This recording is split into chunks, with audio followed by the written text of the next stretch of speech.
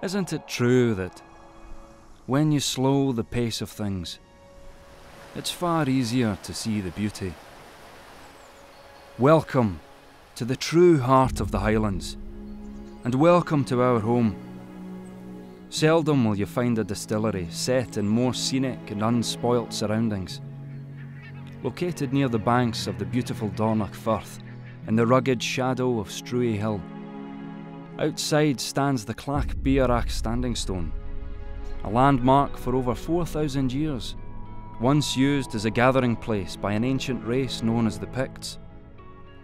On this stone they carved a symbol, a symbol which represents the passage of time. And so, to the reason we're here. Our whisky which reflects this place, its people, and their approach to their craft. Our focus isn't in creating volume, it's in creating quality. One look around our distillery will show you that. One conversation with our whisky makers will tell you why. Because we follow a gentler pace of life here, unhurried, uncomplicated, and yet uncompromising.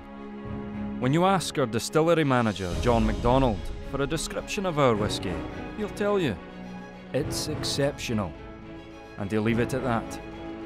There's no need to brag or to bewilder you with jargon, because our whisky speaks for itself. We create it with pride and a dedication to excellence.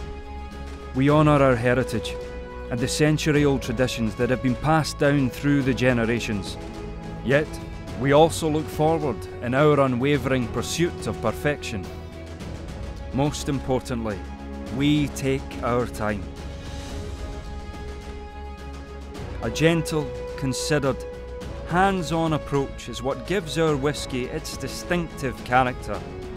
A character you won't find anywhere else.